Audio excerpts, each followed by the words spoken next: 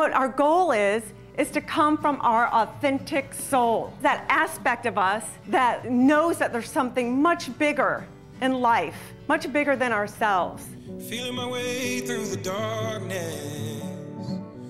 You step into your greatness, and who could do that for you? You can. You can. You can. Lisa's soul blazing workshop was phenomenal. It changed my life forever. It really resonated with me and it really touched me and made me realize who I need to become.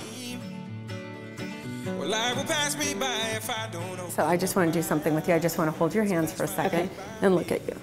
And what I'm doing is I look someone in the eyes for a minute or so because this is connecting us, grounding us, getting us real. After our hour-long brutal session, Bella looked at me with tears streaming down her face and said, you just blazed my soul.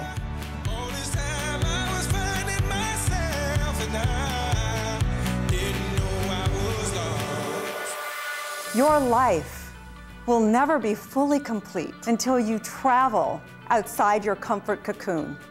I'd like to challenge you to break something something I like to call your comfort addiction.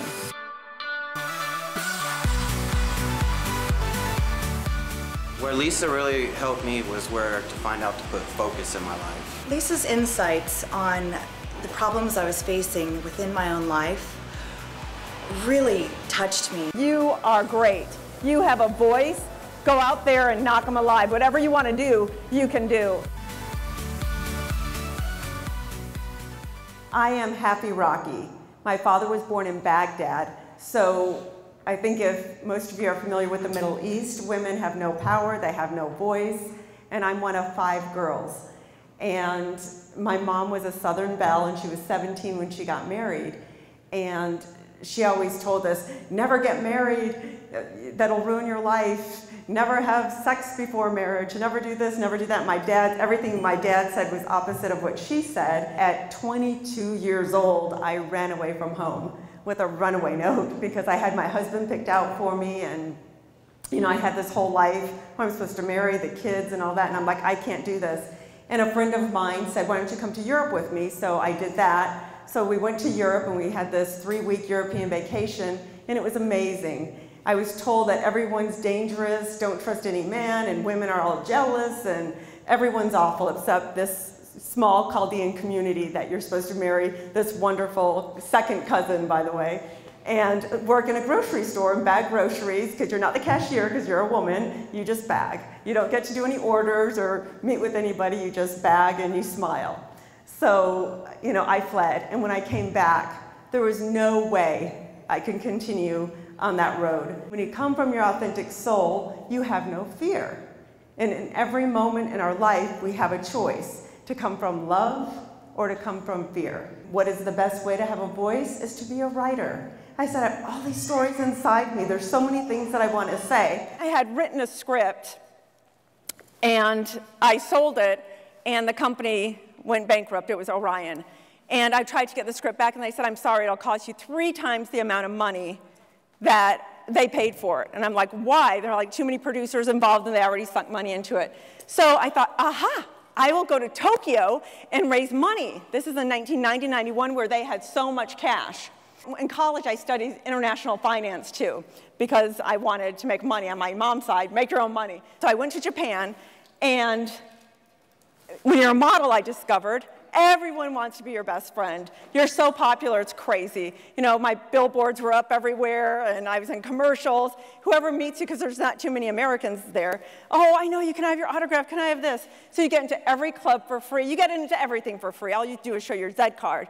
So I realized, oh, I've got power here. Let me use it. So every time I did a modeling gig or a commercial, everyone said, oh, let's go have lunch or let's do this. So I made a joke of no one could have lunch with me unless you give me a million dollars.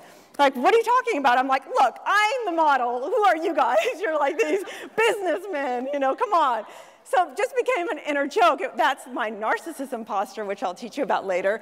And they're like going, no, no, no, let's just go have a drink or this. I, I never took a drink, had lunch with anyone unless they gave me a million dollars. After a couple of months of this, people started laughing, oh, there's that girl. And I became famous for, there's that girl that won't talk to anyone unless they give her a million dollars. And people in Japan, anytime you go out with them, they buy you a gift.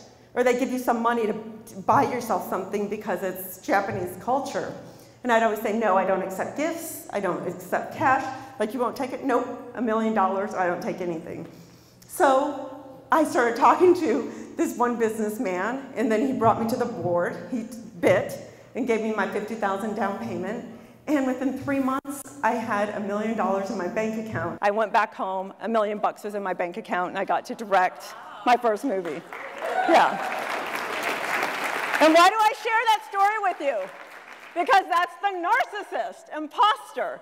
So that's when there's these different sides of you, and people say, oh, that's an ugly side, or we have no ugly sides. We're all one. We're beautiful exactly the way we are. There's no excuses for not doing anything you want in life. We have everything we need inside. We're all unique. You're the sides that don't work for you, that people, especially when you're in a relationship, criticize you on there's still positive qualities. You, if you turn them into them, you could have everything you have going for you to work for you, or they could work against you. You know, it's your choice. I couldn't stay at home anymore, so I moved to LA. Where else, right? I want to be a star because I'm damaged and broken, and who loves me? Nobody cares about me. I'm going to get the whole world to love me. I'll show you again. So I come up here to LA, and on the train up here, guess what? I'm sitting next to an agent. And she says, Come, let me represent you. You seem cool. Within a week, I get my SAG card, I do a commercial, and I'm like, oh my God, this is great. And then I got scared, because then I started getting bigger projects sent my way, and people started telling me, you know how lucky you are? This doesn't happen. What if you screw up? Oh, you're supposed to work with this guy? Oh my God, I would be terrified. I'm like, oh, really? Okay. And something clicked.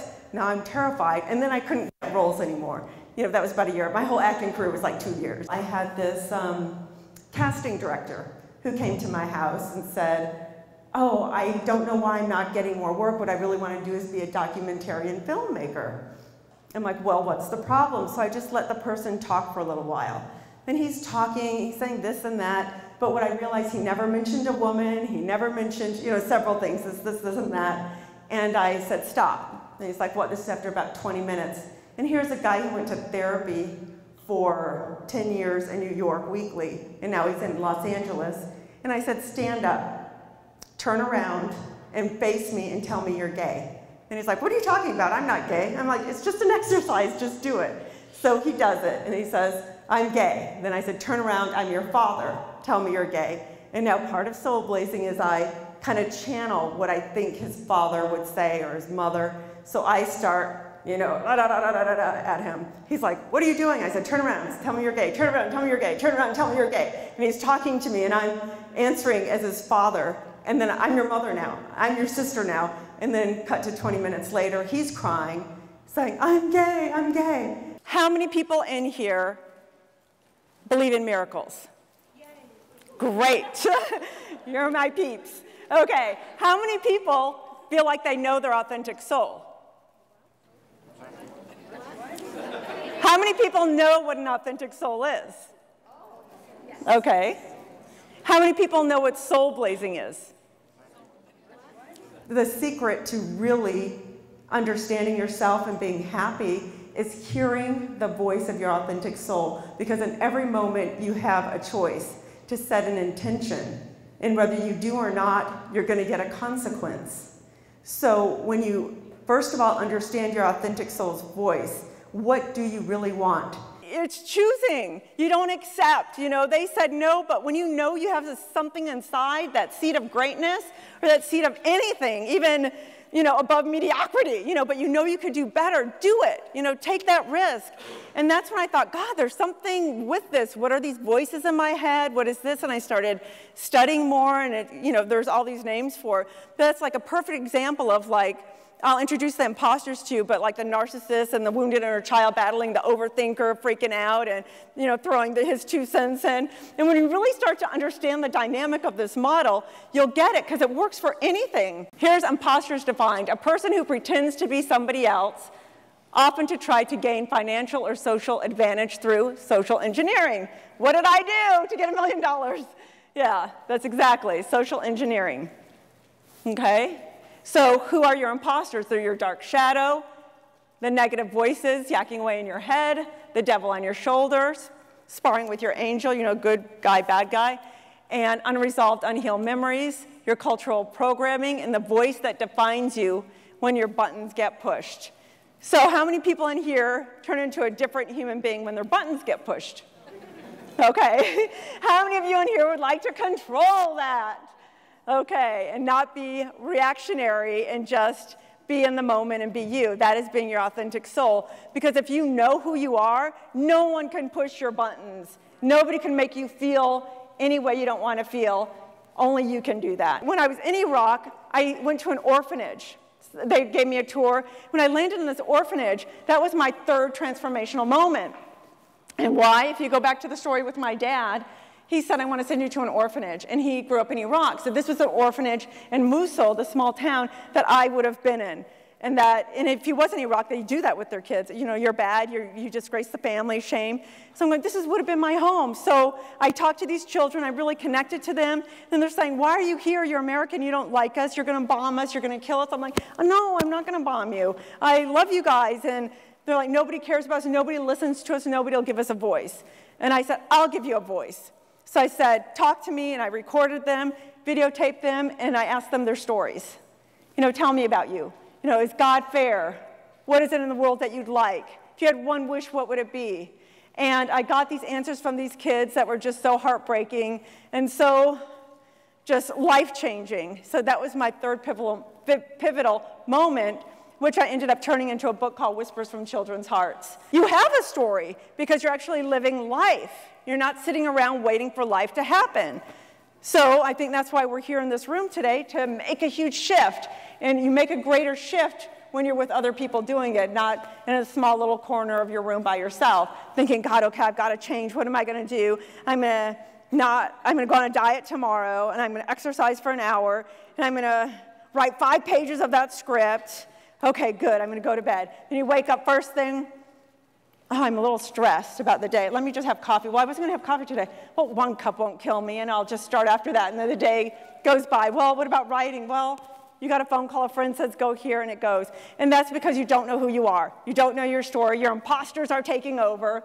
You're not in charge of them. If someone's mean to you or angry, all they're doing is they're sitting in their imposters and they're miserable inside. Because you can't be mean and angry or, an, you know, asshole to somebody if, they're, if you're feeling good about yourself. It's impossible because they don't go together. When you're filled with love and you are love, you spew love.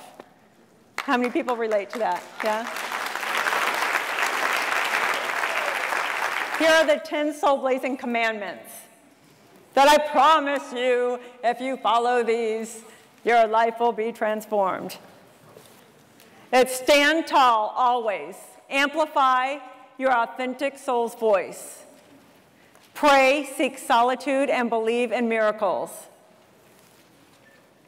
Take 10 deep breaths every day, especially when your buttons are pushed, before you speak. Take action, leap, and cure your comfort addiction, which I didn't even get into today. That's a whole other thing. Look into your own eyes and perform affirmations. Embrace nature, embrace life in all its varied forms. Give, serve, and appreciate, and make amends, heal wounds, and love, and of course, laugh loudly. And if you do these things, you know, look at that. How can you not be happy if you live this way and with this kind of integrity every day? Feeling my way through the darkness, guided by a beating heart. I can't tell where the journey I know where to start.